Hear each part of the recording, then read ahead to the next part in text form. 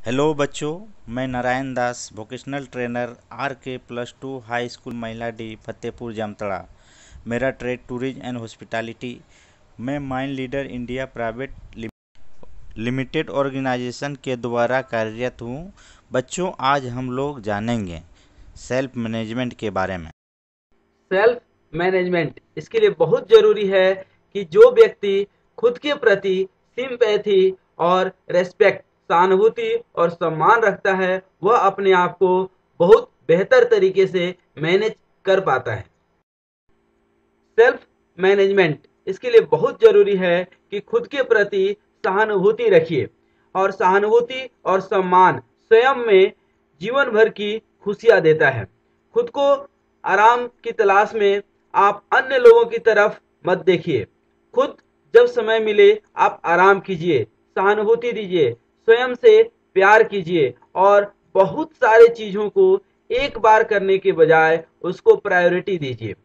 अपने व्यवहार को, अपने दोस्तों के साथ और स्वयं में आप एक रिस्पॉन्सिबल पर्सन बनिए और एक कंपेशन एक रिसेंटमेंट जिस तरह से आप देखते हैं कि 99 परसेंट लोग वही असफल होते हैं जो स्वयं को मैनेज नहीं कर पाते हैं। व्यस्त रहना बहुत अच्छी बात है, लेकिन अस्त व्यस्त रहना बहुत ही गलत बात है। जिस तरह से आप दोस्तों के साथ वक्त बिताकर बहुत खुशी लेते हैं, उसी प्रकार आप संगीत सुनकर के भी बहुत खुश रह सकते हैं। स्वयं को 100 परसेंट फिट रखिए।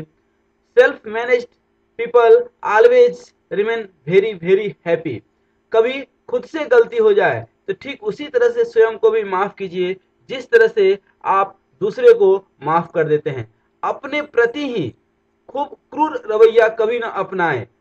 अदरवाइज़ यह आपको स्ट्रेस टेंशन या डिप्रेशन में डाल देता है।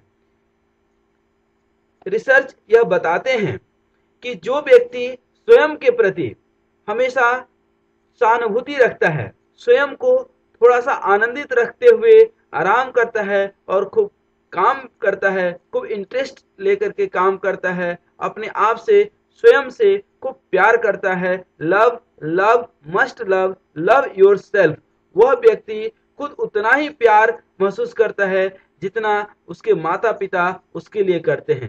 कोई ज़रूरी नहीं है कि हर काम हमारा परफेक्ट हो जाए, लेकिन परफेक्ट के तरफ़ हमें कोशिश करना है उसके लिए हमें अपने आप को डिप्रेस नहीं करना है।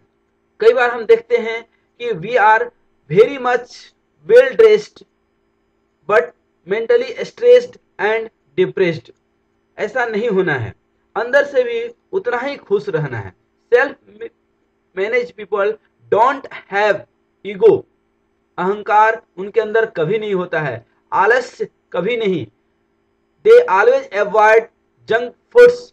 They are conscious about the healthy living. Never be angry. Always be very polite and lovable. Self-managed people have very very affection to each and everyone and even himself. Always enjoy. Keep smiling.